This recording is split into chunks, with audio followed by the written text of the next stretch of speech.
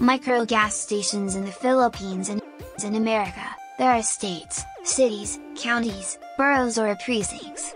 The Philippines has a similar system of government. They're just called different names.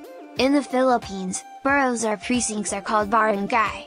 The barangay is the smallest level of administrative division in the Philippines.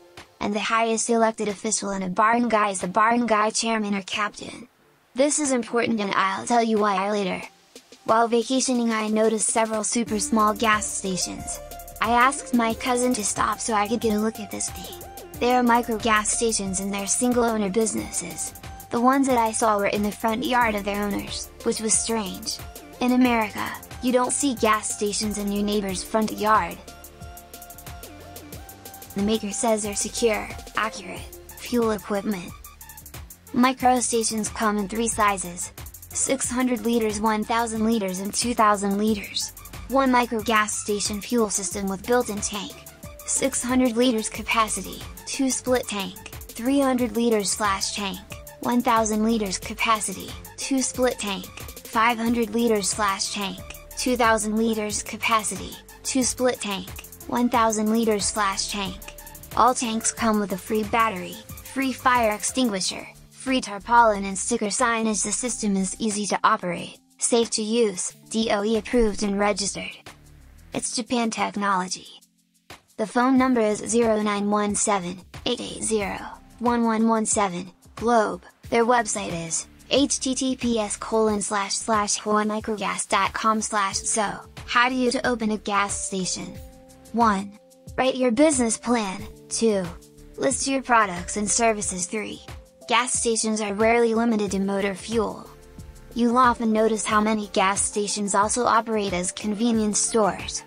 In addition to recording the number of gas pumps and fuel options will be available at your gas station, you should research additional products and services to boost your profit margins.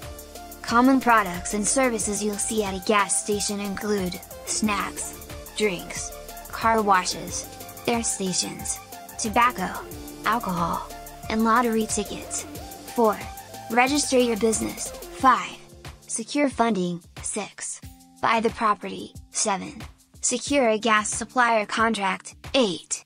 Obtain necessary permits and licenses, 9. Get business insurance, 10. Market yourself. Earlier I said knowing the political chain of command is important. When deciding where you want to put your gas station is not just up to you. You need permission from the barangay chairman or captain to build your business. The barangay chairman must sign off on your construction. He or she can only allow a fixed amount of stations in his or her barangay. This rule is totally different from stateside. Another thing, all your documents will go through this office. But the good thing is this, if you get approval no one else can build near your station. 600 liters capacity, 2 split tank, 300 liters slash tank seems to cost around $5,000 just for the equipment. That's what I have on the micro gas station. If you like this video please subscribe. If you have any comments put them in the section below. If you like this channel please subscribe. Thanks and have a great day.